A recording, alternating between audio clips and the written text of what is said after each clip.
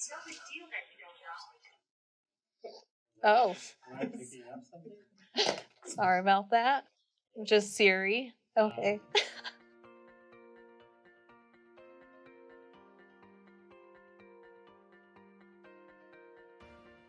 My name is Maria Contreras, and I've been with Conservice for like three and a half years now.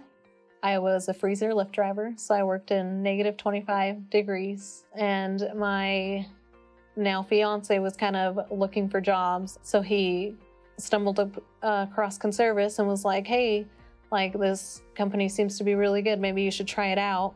I ended up just deciding to do it because my body just couldn't handle the cold anymore. Man, that cold.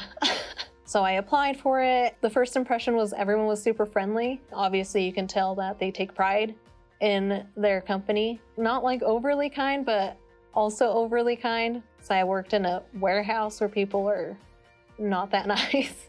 the more I like worked here, the more I wanted to pursue a office type of career. I started in Payres. With Payres, I really like like digging into the root of problems and stuff, which has helped me in all my other positions. The workload with Payres, I would go through it fast, and so I kind of wanted something more to do. Four months into that position, a position for the synergy manager opened up, so I just kind of went for it. I was like, oh, why not? Kind of get a better idea of what the company does. And I got that position and I loved it. Like, I loved working with my clients. Um, I wanted a little bit more of that, which is what led me to the account manager position.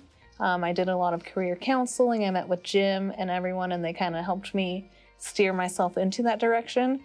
Anytime a position came open for an AM, I would apply. Like, even if I knew I wouldn't get it, I would apply. I would put my name out there and be like, this is what I'm interested in.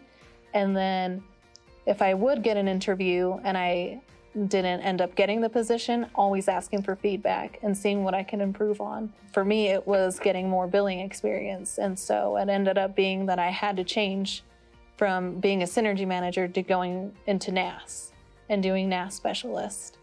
Was really like hard. It gets hard on you, but you kind of have to keep motivated and keep going. I applied for the account management positions probably like six or seven times before I got mine. and then just seeing that people don't have to go to school if you're exceeding expectations and everything, and you actually prove that you can work and do this, they promote within. So I really enjoyed like doing all the career counseling and they really helped me get into the position I am now.